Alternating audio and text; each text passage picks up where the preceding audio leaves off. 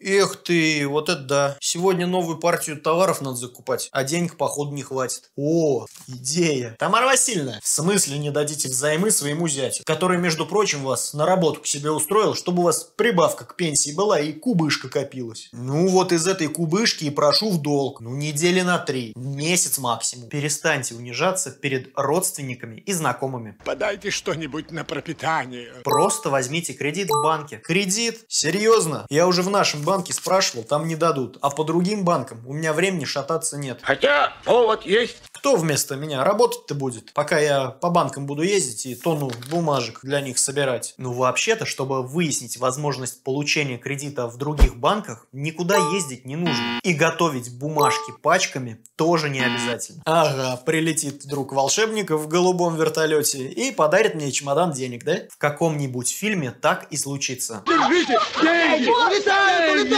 А у нас век цифровых технологий. Поэтому реальные волшебники сейчас сидят за компьютерами и пишут полезные программы. Вот вы, например, в чем свою бухгалтерию ведете? Облачное что-то, бизнес-старт вроде называется, как-то так. Мне сказали, что это та же 1С бухгалтерия, только в облаке и попроще. Ну, для таких, как я. Вот и замечательно. А вы знаете, что всем пользователям обычной и облачной версии 1С бухгалтерии доступен сервис 1С кредит. А что это? Фирма 1С начала налево и направо денежки раздавать? Тебе, держи, и тебе. Тут по миллиону. Не совсем, но зато мы можем подсказать вам, где они лежат. Просто откройте свою программу, перейдите в раздел «Банк и касса», «Финансы», 1С кредит. В открывшемся списке нажмите кнопку «Создать» и дальше следуйте подсказкам программы. Дело в том, что подключенные к сервису 1С кредит банки и микрофинансовые организации сообщают нам, каким требованиям должен отвечать их потенциальный заемщик. И если ваш бизнес удовлетворяет требованиям хотя бы одного такого банка, то вы увидите его предложение. Пойдешь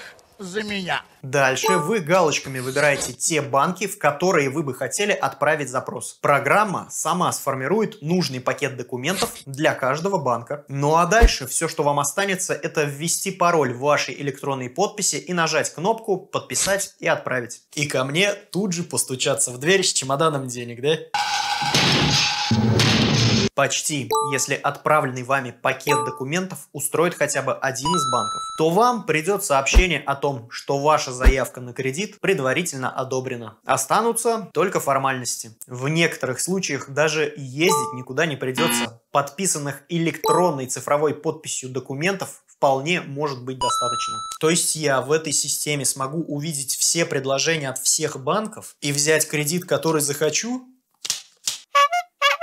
но это же бешеные бабки. Нет, только те предложения, для которых ваша компания будет отвечать минимальным граничным требованиям. Ну и, конечно, только от тех банков и микрофинансовых организаций, которые уже подключились к сервису 1С кредит. На момент записи этого видеоролика таких пока немного. 5, 10, 4, 5, 10, 5. Меньше 10. И еще как минимум десятка-два уже находится в стадии тестирования. Уж очень это удобно получается и для банков, и для заемщиков. Так что даже если сегодня вы не найдете предложение для своей компании, то уже через несколько недель они вполне могут появиться. Да, идея хорошая, действительно можно сэкономить кучу времени и нервов. Стоит попробовать. У меня вот только один вопрос. Сколько я за такой сервис буду должен? Нисколько. Ох, это эти сказочки! Бесплатный сыр, но только в мышеловке. Поэтому давай, рассказывай. Для пользователей 1С бухгалтерии и 1С бизнес старт эта услуга бесплатна. Небольшую абонентскую плату и комиссию мы берем с банков. А для вас,